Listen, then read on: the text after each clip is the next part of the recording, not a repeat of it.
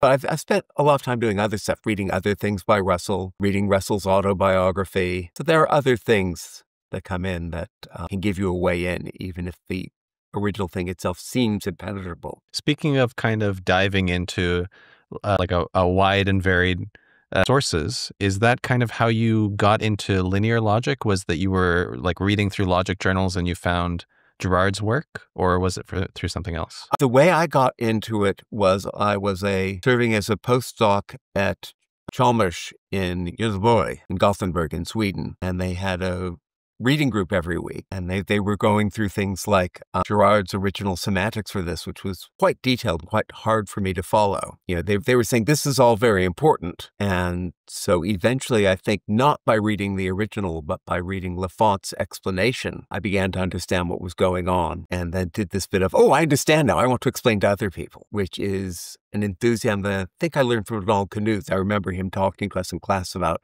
oh, combinatorics was very hard, but now that I understand it, I, I want to explain it to other people. And then he went off and wrote volume four of Knuth, which is about combinatorics. Was it the same thing with monads for you? Yeah, I guess so, because Right. It was uh, Eugenio Moggi's idea. How did you come across it? And my adaptation of it was a, a, very slight twist on what he was already doing.